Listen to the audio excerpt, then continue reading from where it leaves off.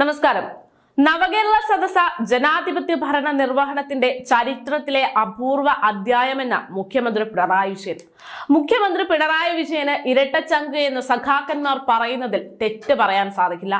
സഖാക്കന്മാരടക്കം ഒരേ സ്വരത്തിൽ നവകേരള സദസ് കൊണ്ട് പാർട്ടിക്കും ജനങ്ങൾക്കും സർക്കാരിനും ദോഷം മാത്രമേ ഉണ്ടായിട്ടുള്ളൂ എന്നും ഈ തവണത്തെ തോൽവിക്ക് പോലും ഇത് കാരണമായി എന്ന് പറഞ്ഞിട്ട് പോലും ഏയ് ഞാൻ പിടിച്ച മുയലിന കൊമ്പ് മൂന്നെന്ന് പറയുന്ന തരത്തിൽ മുഖ്യമന്ത്രി പിണറായി വിജയൻ നവകേരള സദസ് വൻ വിജയമെന്ന് ആവർത്തിച്ചു പറയുകയാണ്.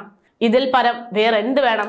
ഇരട്ടച്ചങ്കനാണ് മുഖ്യമന്ത്രി പിണറായി വിജയൻ എന്ന് പറയാനുള്ള കാരണം. എന്തായാലും L D F M L എമാരുടെ നിയമസഭാ ചോദ്യത്തിന് നവകേരള സദസ്സിനെ കുറിച്ച് അതിവിജയകരം എന്ന് മാത്രമാണ് മുഖ്യമന്ത്രി മറുപടിയായി പറയുന്നത്.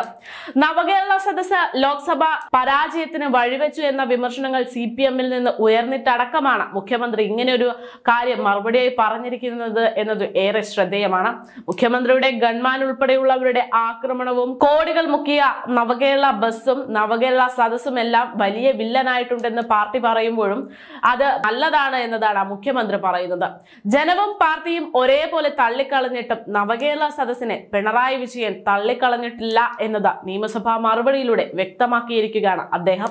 രണ്ട് ദിവസങ്ങൾക്ക് മുമ്പാണ് ആറു മാസത്തോളം നവകേരള സദസ്സിൽ പരാതി നൽകി. മുഖ്യനെ വാക്കു വിശ്വസിച്ച് കാത്തിരുന്ന ഒരു വയോധികയുടെ വീട് പൊളിഞ്ഞു വീണു എന്ന റിപ്പോർട്ട് പുറത്തു വന്നത്. ഇങ്ങനെ എത്രയോ എത്രയോ പ്രശ്നങ്ങൾ പുറത്തു വന്നിട്ടുണ്ട്. നവകേരള സദസ് ലഭിച്ചിരിക്കുന്ന പല പരാതികളും ഇപ്പോഴും പരിഗണിക്കപ്പെട്ടിട്ടില്ല എന്ന് പോലും പറയുന്ന സാഹചര്യത്തിലാണ് ഈ പദ്ധതി. നവകേരള സദസ് എന്നത് വലിയ ഗംഭീരമായിട്ടുള്ള വിജയകരമായിട്ടുള്ള ഒന്നാണ് എന്ന് മുഖ്യമന്ത്രി പറയുന്നത്. മുഖ്യമന്ത്രിയുടെ നേതൃത്വത്തിൽ മുഴുവൻ മന്ത്രിമാരും എല്ലാ നിയമസഭാ മണ്ഡലങ്ങളിലും ഇതിന്റെ ഭാഗമായി പര്യടനം നടത്തി എന്ന് തുടങ്ങുന്ന മുഖ്യമന്ത്രിയുടെ പ്രസംഗത്തിൽ മുഖ്യമന്ത്രി പറയുന്നത് നിയോജക മണ്ഡല അടിസ്ഥാനത്തിൽ സംഘടിപ്പിച്ച പ്രഭാത യോഗങ്ങളിൽ മുഖ്യമന്ത്രിയും മന്ത്രിമാരും സമസ്ത മേഖലകളിലെയും പ്രമുഖരുമായി ആശയവിനിമയം നടത്താൻ സാധിച്ചു. സ്വാതന്ത്ര്യ സമര സേനാനികളും സാഹിത്യ നായകന്മാരും കർഷകരും കായിക താരങ്ങളും തൊഴിലാളികളും നിയമജ്ഞരും തദ്ദേശ ജനപ്രതിനിധികളും തങ്ങളുടെ അഭിപ്രായങ്ങൾ പങ്കുവച്ചു. ജനങ്ങളുടെ വിവിധങ്ങളായ നിർദ്ദേശങ്ങളും നിവേദനങ്ങളും സ്വീകരിക്കുന്നതിനും സദസ് വേദിയായി. നാടിന്റെ ആവശ്യങ്ങളും സർക്കാർ അഭിമുഖീകരിക്കുന്ന പ്രശ്നങ്ങളുമെല്ലാം ചർച്ച ചെയ്യുന്നതിന് വേദി കൂടിയായി മാറിയിരിക്കുന്നുണ്ട് ഈ പരിപാടി. ഇതിലൂടെ ജനാധിപത്യ ഭരണ നിർവഹണ ചരിത്രത്തിന്റെ അപൂർവ അധ്യായമായി നവകേരള സദസ്സ് മാറിയെന്നതാണ് മുഖ്യമന്ത്രി പിണറായി വിജയൻ അവകാശപ്പെടുന്നത്.